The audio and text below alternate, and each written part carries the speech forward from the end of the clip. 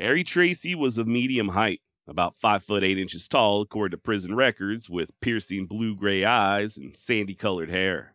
While not necessarily conventionally handsome, Tracy was still said to have been quite the ladies' man. His face had a certain roughness to it that, coupled with smooth manners and a quick wit, made him one of the more desirable young men in Seattle's Tenderloin district back in the mid 1890s. And if we're being honest, it was the ladies that ultimately caused Harry's downfall, or should I say his love for the ladies. Legend has it that despite some initial trouble back east, Tracy attempted to walk the straight and narrow when he first arrived in Seattle. Found him a job working as a student fireman for the railroad and rented out a little modest room over on First Avenue. Ah, but that nightlife was a calling, and the red light districts south of Yesler Street weren't but a short walk away. Never much given to alcohol or gambling, it was most definitely the women that drew Harry, and a mere student fireman's salary damn sure wasn't enough to keep him satisfied. So Tracy started robbing, began hanging at the train depot and following his victims back to their hotel rooms, making quick work of them and fencing the valuables downtown. This went on long enough for a special detective, King County Sheriff's Deputy Jack Williams, to be assigned to the case. And while the police did not have enough evidence to arrest Tracy at the time, they did give him a stern talking to, telling the young man to leave town immediately and not let the door hit him in the ass on the way out. Harry, with his usual defiance, stated that he'd leave town when he was good and ready and not a moment sooner. Of course, Harry would end up leaving later that summer, eventually drifting on down to Utah and finding himself in even more hot water. Still, one can only imagine Deputy Jack Williams' surprise when, years later, he'd find himself face to face with Harry Tracy yet again. And this time, only one of them would survive. My name's Josh, and you're listening to the Wild West Extravaganza.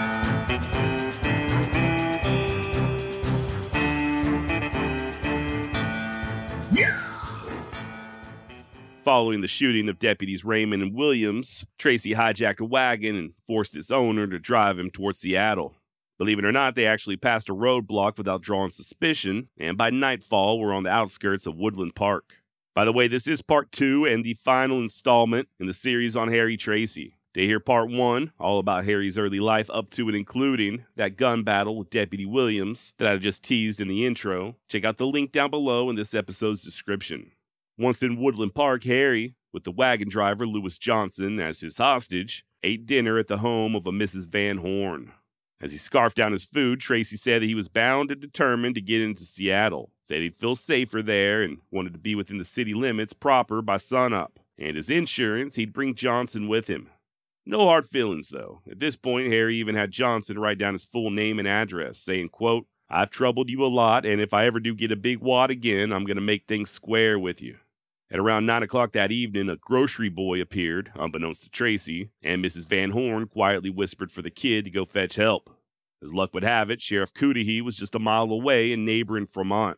He had just arrived via buggy, alone, from Bothell, and as soon as he heard that Tracy was holed up at the Van Horn place, immediately began asking for volunteers. A few brave citizens agreed, and once armed, they took up positions around the house. To their astonishment, moments later, Tracy emerges. Only problem is, he's flanked by hostages. The aforementioned Lewis Johnson and an old man named Butterfield who had the misfortune of boarding with Mrs. Van Horn. Keep in mind that Harry had no idea the sheriff was out there. He was just being his natural, cautious self. It was clear he was headed straight for the Johnson's wagon, so Cudihee took careful aim and waited, thinking that he'd get a clear shot once Tracy tried to climb aboard. And chances are he would have too had it not been for a couple of unwitting constables, Raleigh and Brees, blundering onto the scene. I guess they had heard the news and were looking to come to Cudihee's aid. They spot Tracy, still flanked by Butterfield and Johnson, and ask the trio if they'd seen the sheriff anywhere. Seconds later, Brees notices the rifle that Harry was trying to conceal under his jacket, puts two and two together, and yells out for Tracy to drop the gun. Instead, Harry simply swings it out and puts a bullet square in Brees's forehead. Constable Raleigh is close enough to actually reach out and grab Tracy's arm, while at the same time attempted to draw his service pistol, but it's no use. Harry was just too damn quick, and he fished out a revolver of his own and pumped two rounds into Raleigh's belly. All of this happened in just a matter of seconds, mind you. Sheriff Cudihee and his makeshift posse scrambled to open up fire, at which point Tracy just disappears into the night. Now, Constable Raleigh would succumb to these wounds fairly quickly, and counting Brees and Deputy Raymond back at the cabin, Harry Tracy had just killed three men in the span of a few hours. Four, really, depending on how you look at it. Deputy Williams, who had been wounded back at the cabin, would go on to live several more years, but when he did finally die, it was from complications of those wounds he received back in the summer in 1902. The following day, July 4th, the good citizens of Seattle began arming themselves. Rifles were handed out at hardware stores Sheriff Cudihee and a posse of 50 men began searching the woods between Seattle and Bothell. Others were strategically positioned at various points along roads and rail tracks, but mostly it was just a game of hurry up and wait. Tracy could be anywhere, holed up out in the woods, or sitting in somebody's house watching all the commotion outside through a window. Unless he popped his head up or there was another sighting, the posses really couldn't do much of anything. Sheriff Cudihee admitted as much that evening during a press conference. Said he couldn't possibly say where Tracy was, but that he and his men were watching closely for the next appearance. Quote, the chase has been a hard one, but we are not beaten yet. Tracy must be exhausted by his last flight across the country, and we must keep hard after him. End quote. And as had been the case for nearly the entire hunt, tips began flooding in. Some credible and others not so much. Tensions were so high that a poor Japanese man was nearly gunned down when a posse mistook him for Tracy. In truth, by the way, I'm recording this directly after I recorded the first episode in this series, if you hear my voice cracking, it's just because it's still not at 100% after that little cold I had a couple weeks ago. I feel fine though. My voice just isn't quite where it needs to be yet. Hopefully soon. Now, by the morning of the 4th, Harry had made his way all the way to Green Lake and held a farmer and his family at gunpoint while they made him breakfast.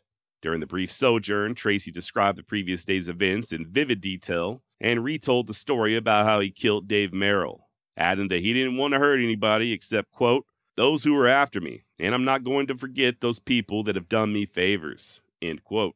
Almost as if to hammer this point home, Tracy refrained from tying the family up due to their 18 month old baby, saying, I'll not tie you people up because somebody will have to tend to that baby. But one thing I want you to do, and that is to give me a solemn promise that you will not tell anyone I've been here for the next 48 hours. End quote.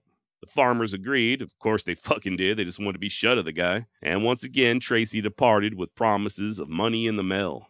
Now, obviously, the couple didn't wait no 48 hours. They immediately notified the authorities, and the farmer's wife even stated that she tried to poison Tracy's food, but he was just watching too closely. The law quickly arrived on the scene, bloodhounds were dispatched, and surprise, surprise, they lost the scent after just about a mile. The general consensus was that Harry was now bound for the Cascades, but he fooled everybody again by going the exact opposite direction, right back to Puget Sound. Forced a fisherman to sail him all the way to Bainbridge Island, where, on the afternoon of the 5th, he held another family at gunpoint, the Johnsons. I want you all to understand that I am a desperate man. My name is Tracy, and I would kill you all were it not for that pretty little child. I want all I can get to eat and good clothes in place of the ones I have on. If you give me these things, you will not be harmed. Harry then addressed Miss Johnson, saying, Madam, I dislike to order a woman about, but I want you to hurry up and get me a big dinner. And I want lots of coffee. And I actually don't think that's a bad line. Some of you single guys might want to try someday, preferably on a first date. Just let me know how it works out.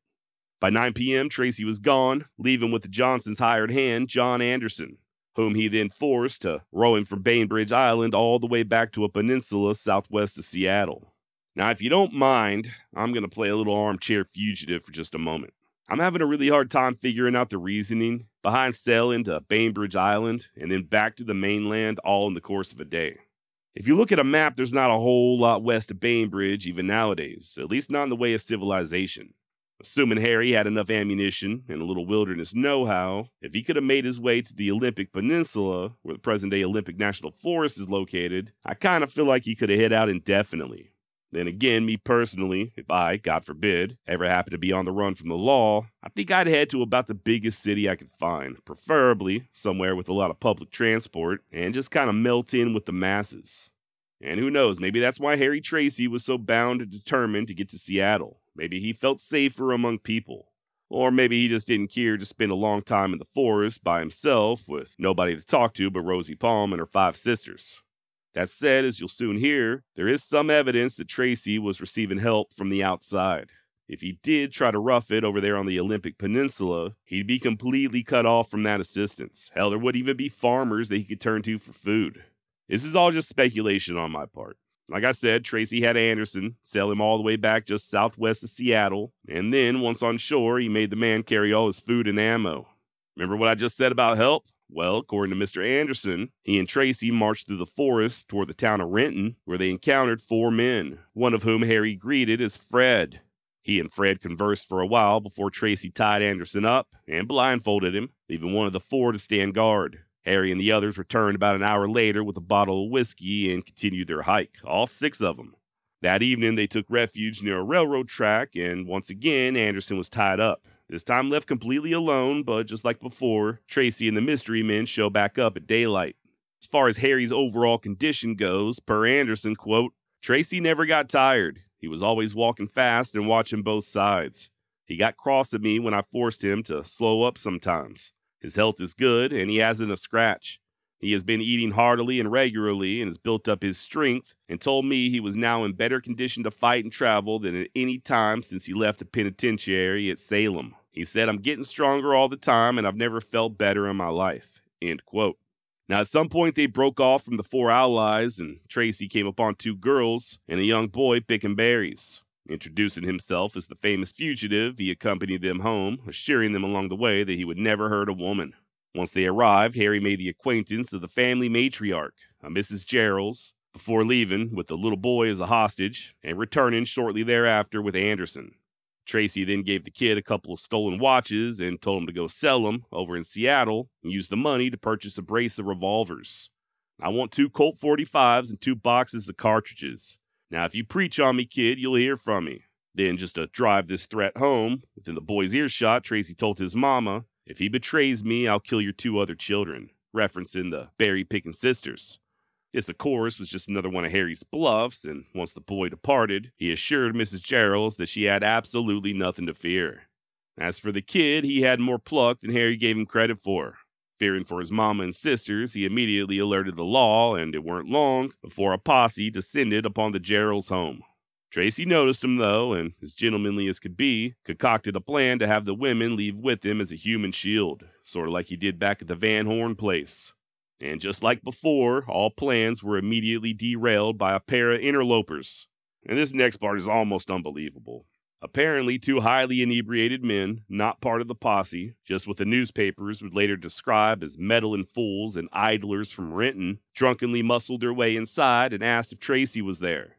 Harry hid in a room with the young ladies as Mrs. Gerald's assured the men that he was not. Finally, they just stumbled their way out, likely saving their own hides in the process. Weird little interlude, and it does seem pretty amazing that Tracy didn't kill both of them on sight. And you gotta wonder what the hell the posse outside was thinking. Up to that point, at least, they were under the assumption that they had gone unnoticed. Nonetheless, that night, once it was good and dark, Tracy tied Anderson up, and despite previous plans, he left alone, slipping quietly right through the posse just like he had done dozens of times before. You know, I do find Tracy to be a pretty fascinating study. The dude was a stone cold killer, no doubt. I'm sure a little touched in the head, extremely dangerous, and he made no qualms about being a thief. But also, he did seem to go out of his way not to harm civilians. During Harry's time on the run, he took a ton of hostages, but never made any untoward advances on the women folk. About the worst he ever did was just leave a few people loosely tied up. He wouldn't hesitate to drop the hammer on anybody hunting him, be they lawman or vigilante, but everyone else seemed to be off limits. By all appearances, Harry Tracy lived by a code, albeit one of his own making. And this is something I've noticed when researching other criminals from different eras, even admitted crooks and gangsters from modern day times. They all espouse a certain honor code, and some very strongly. I'm sure this is a topic more suited for a psychologist than a dumbass podcaster, but I've always wondered if these codes are true beliefs, you know, guiding principles that they just really feel down to their core, or just more of a narcissistic coping mechanism. You know, maybe rather than accept who they are, they instead rewrite the narrative in their own minds. Sure, I might rob a bank, but I'd never hurt a kid, so I'm not all that bad. Or yeah, I'd shoot a cop trying to arrest me, but I've never touched a woman without consent. None of us, even bad boys, want to feel like monsters, right? Then again, there may be some truth to it. I mean, with all of Harry Tracy's faults, was he as bad? As those prison guards that tortured Delmain back in the previous episode. Those guards were never hunted down like dogs or labeled as menaces of society. They never had a price on their head, and the warden that allowed all that shit to go on at his prison, worst that ever happened to him was he lost his job. And I personally believe that one day I'll stand before my maker and have to answer for what I've done. I gotta admit that's a scary thought. Thankfully, I've never had to take a life, but I kind of feel like torturing somebody to death would be far harder to explain than shooting someone in self defense. Just one more thought, and I promise I will stop rambling. As much as I sympathize with Harry Tracy, and by sympathize, I guess I mean I understand his reluctance to return to prison, I don't know that being nice to his hostages is all that great of a flex. At the end of the day, just the mere action of him forcing his way into those homes and holding families at gunpoint is dramatic as hell. The men were likely left with feelings of inadequacy for the rest of their lives, and the women never again able to feel safe in their own homes. In my opinion, being polite doesn't really make up for all that. And if one of those men had tried to fight back, Tracy sure as shit would have killed him. And it would have been his own damn fault. Now, that posse did end up rushing to the Gerald's home in a huff, cutting Mr. Anderson free and putting the hounds on the scent using some old clothes that Tracy left behind. Per usual, the dogs lost the trail about a quarter mile down the road, but upon crossing the river, they immediately picked it back up. At least they did until they ran smack dab into a nice heavy dust and a cayenne pepper. Far as I know, that was the only time Harry tried that particular trick, and needless to say, it did hamper the chase quite a bit. Undaunted, the handler gave his dogs a good nose cleaning, whispered some sweet nothings in their ears, and in no time flat, they were back on the hunt. And this time, for whatever reason, Tracy had a very hard time shaking them. He ended up doubling back, making a big circle through the timber and cutting his own trail, heading north again towards Lake Washington. The hounds followed, but by the time they hit the lake, the trail went completely cold. So demoralized were the volunteer posse men at this development that most of them just up and quit and went on back home. Harry didn't have that option, so instead he again changed directions and beat feet to the south. In the days that followed, there were numerous sightings, and someone fitting Tracy's description even forced his way into a home and attempted to use the telephone. Then, just outside of Tacoma, Harry took yet another family hostage, the Johnsons. After demanding food and a change of clothing, he ordered the man of the house to go into town and procure a pair of 45 Colts. Remember, he pulled that same shit back at the Gerald's home, so I'm guessing he really wanted those damn pistols. And once again, Tracy offered up a bluff told Johnson that if he didn't do as he was told, he'd murder his wife and children. In the meantime, Harry gathered the remaining family members Johnson's wife, a 17 year old daughter, and a 15 year old son and took them to a hill behind the house. Apparently, Tracy wanted a nice vantage point in case anyone tried sneaking up. And this next part is very interesting. While awaiting the return of Mr. Johnson and those two twin colts, Tracy allegedly regaled the family with stories from his days riding with Butch Cassidy's Wild Bunch. Now, take that with a grain of salt, as I don't know this is something that the Geralds said, or whether or not the local press just sprinkled it in to make the story more interesting. Much of what we know about Harry's time on the run does come from newspaper accounts, and you know how that be. Speaking of which, this wasn't just some local story. This manhunt had garnered national attention, and there were daily updates in damn near every paper in the United States. Even then, President Teddy Roosevelt was obsessed following the news closely and allegedly somewhat intrigued by Tracy's ability to elude the law for as long as he had. So, yeah, there's no telling what kind of stories the press was concocting on the daily just to drum up sales.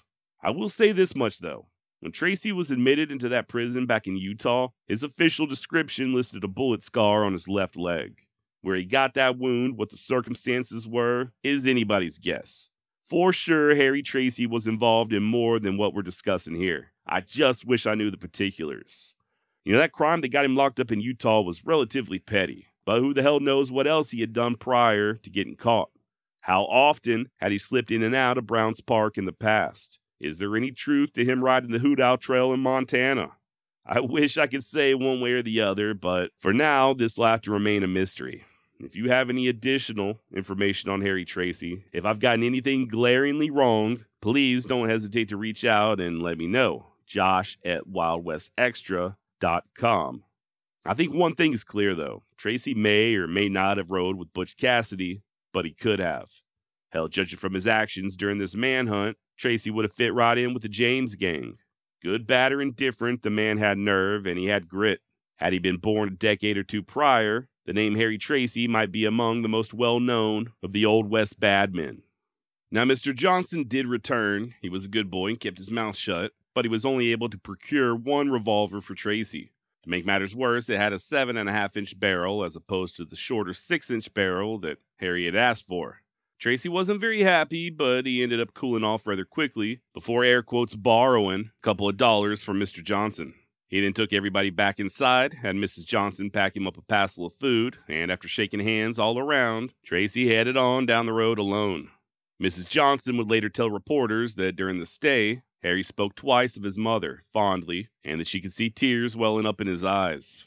Now, as touching as that is, she also expressed fears that Tracy would return and kill her husband, saying that she wouldn't be able to sleep in her own home again until he is either dead or out of the country. As it turns out, she would not have long to wait. That evening, a little after midnight, Harry came upon two men guarding the railroad tracks and took off running. They unloaded their scatter guns after him, and despite the darkness, ended up putting at least a few pellets in Tracy's hip. He hobbled through the woods about 50 yards before running smack dab into another lawman, Deputy Crow. Harry pretended to be a fellow posseman, but as soon as he got close, he raised his rifle and popped off a couple of shots. Luckily for Crow, Tracy didn't stick around to make sure any of his bullets found their mark. Other than a slight powder burn on his face and an exciting story to tell his grandkids, Deputy Crow was unscathed and lit out for the nearest telegraph station. Skip ahead to 8 a.m. that morning. Sheriff Cudihee arrived on scene along with those bloodhounds, but, say it with me, class, the trail soon went cold. A couple hours later, Harry was spotted on a farm some five miles south of Covington Station. The hounds were once more deployed, and this time they were able to follow the trail for a full eight miles, the longest thus far in the entire manhunt. However, just like always, they eventually lost the scent. The following day, July 12th, 1902, Tracy limped his way into the home of the Portraits, an elderly French couple. Said he was the man the posse was after and that he wanted some food. Now, if Tracy had previously been at the peak of physical fitness, as the hostage Anderson had claimed, things had recently taken a drastic turn for the worse. That hip wound was hurting something fierce, and according to the portraits, Harry's face appeared thin, drawn tight, and gaunt, and he was so exhausted he could barely lift his fork. Nevertheless, after finishing his meal, Tracy was on the move, limping his way back into the safety of the forest. He didn't look like a criminal, Mrs. Portrait later recalled. He treated us very nicely, and it is hard to believe that he has such a black record. Next day, around 5 p.m., Harry was spotted by a 10 year old boy just south of Enumclaw. The kid would later state that Tracy seemed very tired with dark circles under his eyes, and that he carried a Winchester in his arms with a makeshift holster around his waist holding two revolvers. Harry asked the kid for directions to the road leading to Buckley, thanked him, and went along his way. The youngster immediately pedaled into Enumclaw and alerted the adults. There was a great clamor of hounds and men, but Harry had done circled back and it weren't no use. On the afternoon of the 14th, Tracy was still in the vicinity of Enumclaw, where he forced his way into the Garner home. Fugitive ate dinner, ordered one of the Garner boys to give him a shave, and then departed with a new pair of pants. Meanwhile, Sheriff Cudihee decided to follow a somewhat iffy lead. More and more intel kept coming his way, backing up the idea that Tracy was receiving outside help and what seemed like a reliable informant even claimed to know the exact location of their hideout, a remote cabin on Lake Sawyer. Desperate to make an arrest, Cudihee took 12 of his best men and made the long hike, getting lost twice in the process before finally locating the cabin. They breached the doors, guns drawn, and it was empty.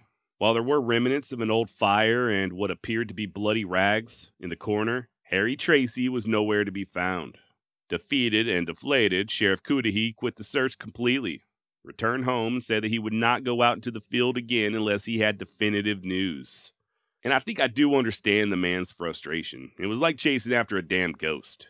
Couple that with all the fake Harry Tracy's that began popping up, and it had to be downright frustrating. There was one jokester who walked into a logging camp demanding dinner, and although he was armed, he did not match Harry's description. But that's nothing compared to a genius by the name of William Nixon. Old Willie entered into a Seattle saloon and began quietly intimidating one of the female employees, claiming to be Tracy and strong arming her into buying him beer. Said if she told anyone, there would be consequences. Well, she told, and the next time Nixon set foot in that saloon, he got his ass beat black and blue and locked up in jail to boot. Hell of a price to pay for a free beer. Meanwhile, the real Harry Tracy had indeed crossed the Cascades on horseback and pushed into the much more open and arid land of eastern Washington. Not far from Wenatchee, Harry stopped at a fruit ranch, taking both a meal and a fresh mount, before pushing on to the Columbia River, where he ran into a pair of stubborn ferry operators who flat out refused to take him across until sunup. Guess they was allergic to working in the dark. Tracy spent a few nervous hours watching his back trail before impatiently waking the men up at first light. And once on the other side of the river, Harry refused to pay him. Said that he was broke, but even if he had money, he wouldn't hand it over due to their uncooperativeness. Now, I don't know why I found that so funny. You know, in the past two months, Tracy has killed what, seven men?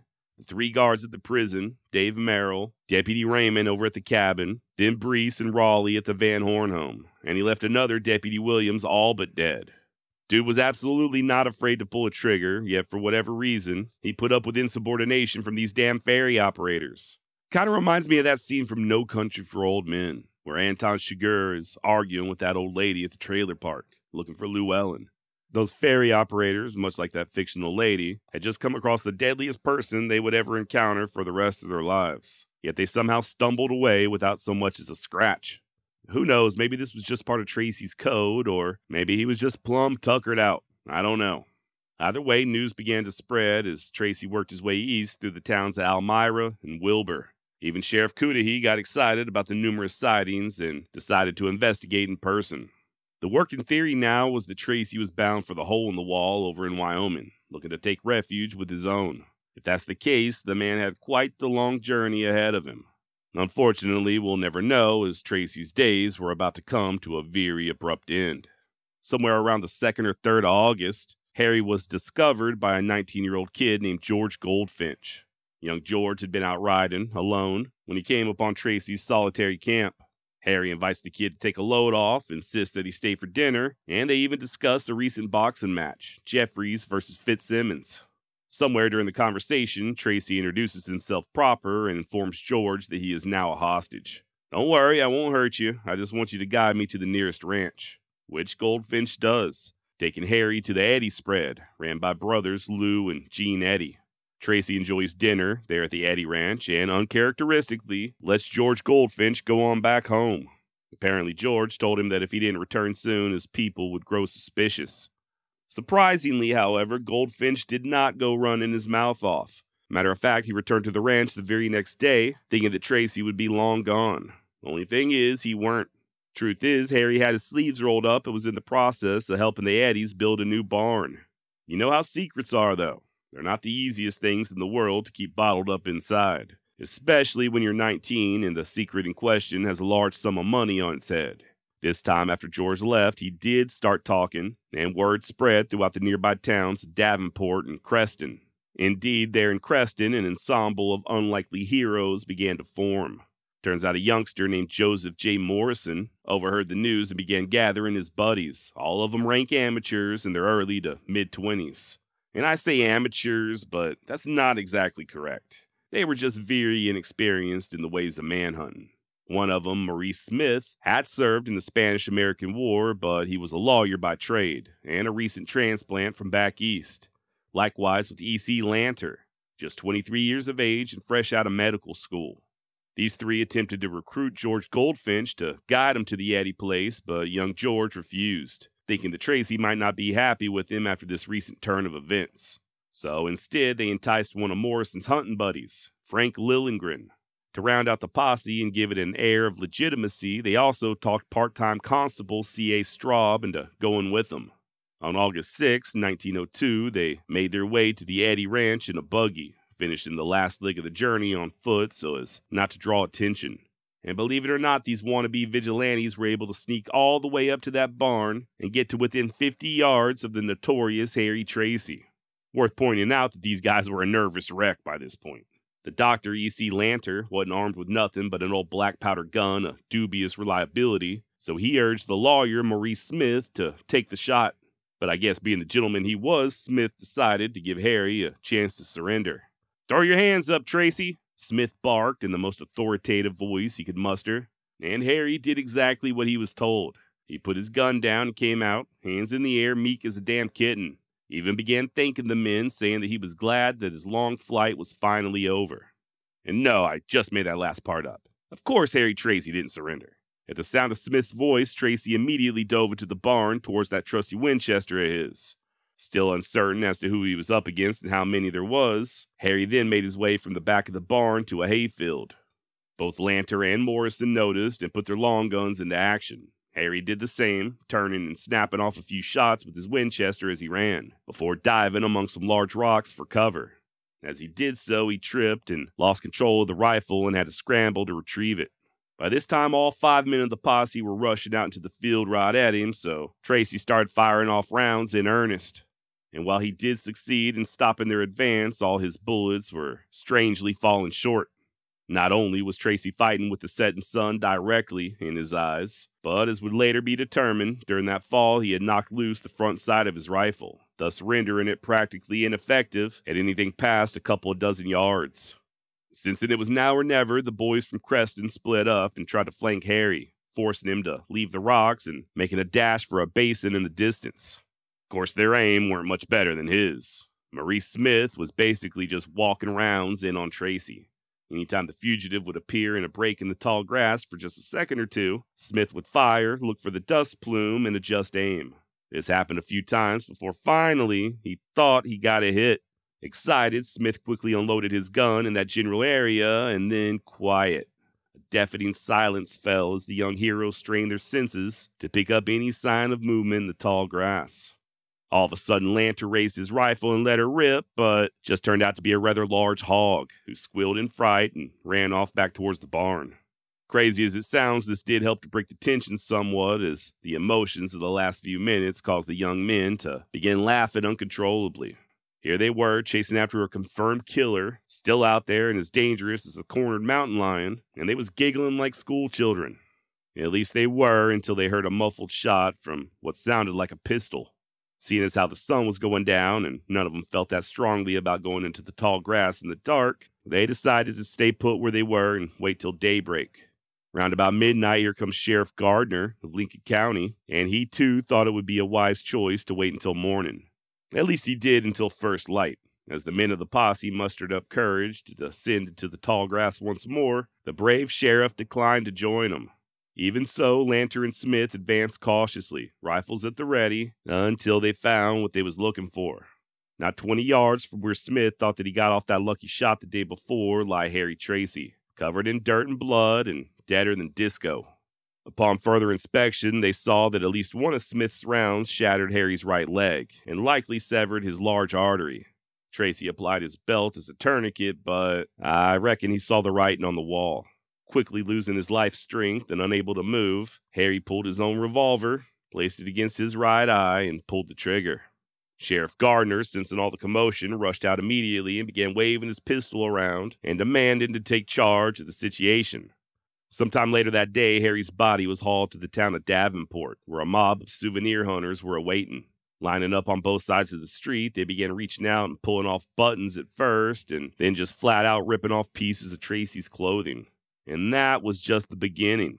Once the body was placed inside the coroner's office, the crazed crowd busted in the windows and stormed inside. Within minutes, Tracy was stripped completely naked as the damn human vultures tore away his hair and skin, leaving the corpse absolutely riddled with bloody patches where entire chunks of flesh had been hacked away.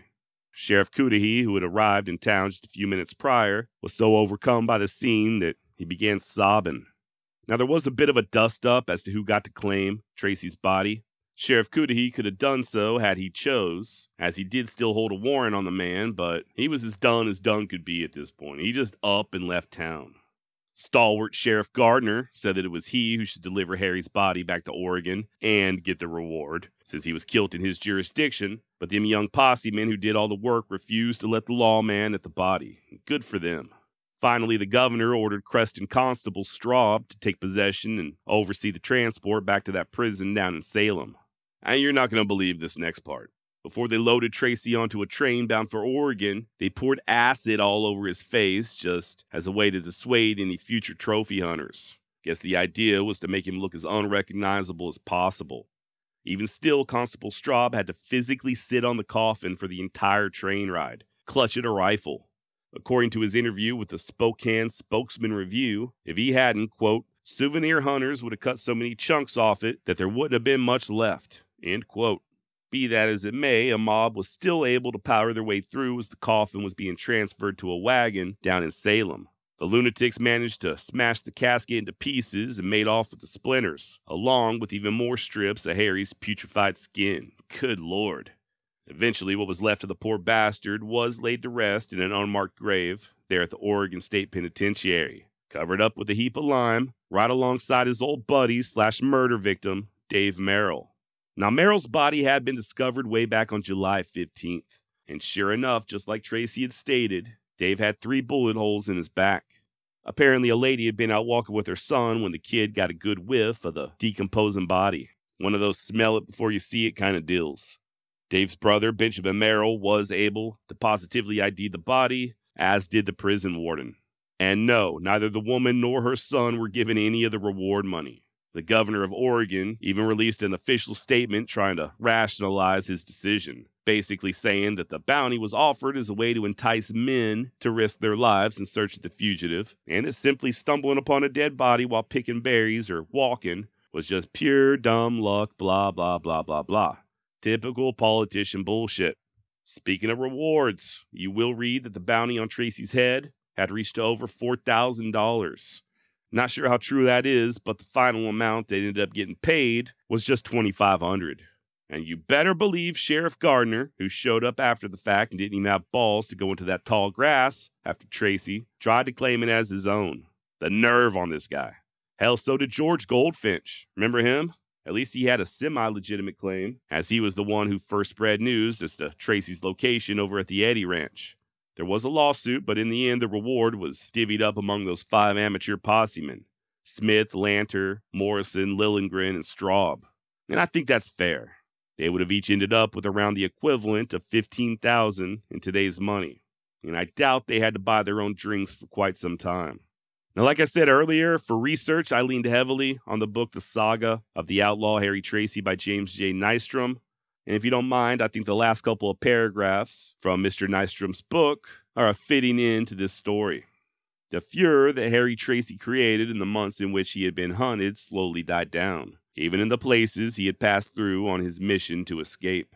Today there are few markers on his trail of mayhem, no placards where he shot it out with deputies or held hostages for days. The man who so boldly and brazenly marched across 500 miles of thick underbrush, tall grass, and dense forests has left only the impression of a memory. People living in these areas held vivid memories of the circumstances throughout their lives. Today, all those who remembered are gone. It is their descendants who keep only a memory of a memory. Perhaps it is fitting that this outlaw, no matter how bold and daring, has left little or no trace on the landscape of the Pacific Northwest. His deeds and exploits should not be overly aggrandized, since he was, in fact, a convicted criminal, a thief, and a cold blooded murderer. He was also very polite, courteous to women, not a wanton killer, but a self justifying dispenser of his own crude code of frontier justice, with a keen though rough hewn sense of humor. The story remains as a monument in the factual history of the growth of a region, the Pacific Northwest. It is still the same land that it was in Harry Tracy's time, even though now it is widely settled and much of the dense undergrowth and timber has been cleared, the countryside still retains its basic wildness and overgrown nature. It does not take much neglect for the rain soaked climate and fertile soil to reclaim its prominence over any kind of civilized activity. It is within this cover that the outlaw Harry Tracy hid from capture and eluded every posse that was dispatched to capture him.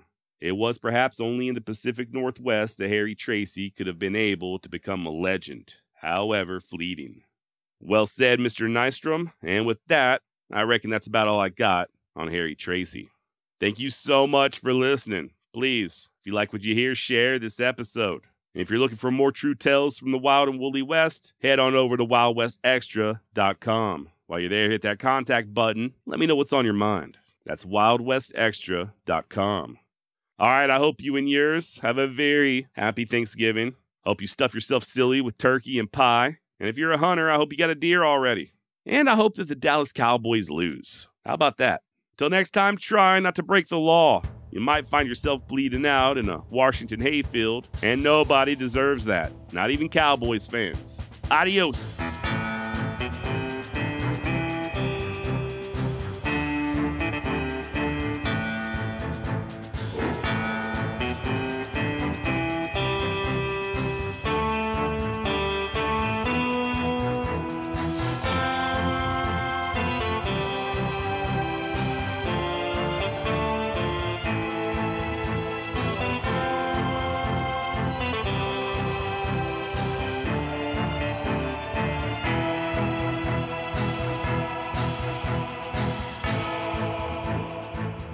And I want lots of coffee.